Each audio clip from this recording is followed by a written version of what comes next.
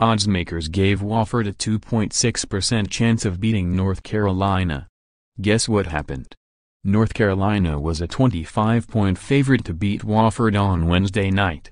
If you were betting on the money line, you would have had to wager $3,750 to win only $100, which someone apparently did as it implied a 97.4% chance of victory. Spoke with someone earlier tonight who laid $3,750 on UNC to win $100 of free money as they called it.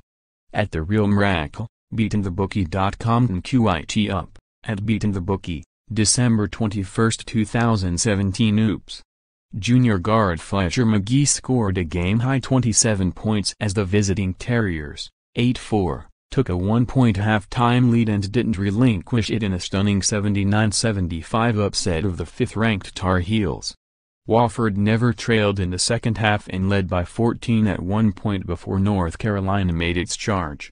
The post-game scene in Wofford's locker room was straight out of March, when you beat the number 5 UNC Tar Heels on the road.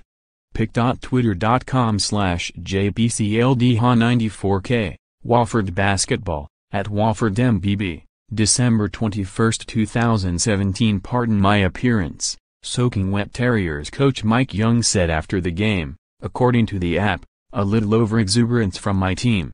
They thought we won the Super Bowl, he continued, per the News and Observer. Maybe we did beating the Tar Heels.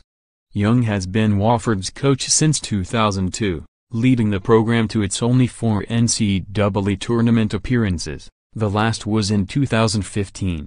Wednesday's win was the Terriers' second ACC pelt of the season. They scored a 63-60 win over Georgia Tech on December 6, but they had never beaten a team ranked in the top 25 in 22 chances before Wednesday night.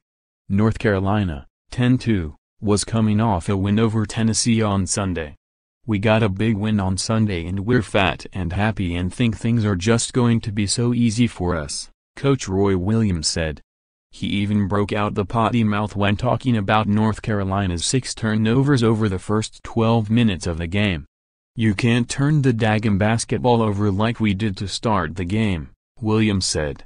North Carolina lost a home non-conference game for just the 16th time in 214 games at the Dean E. Smith Center.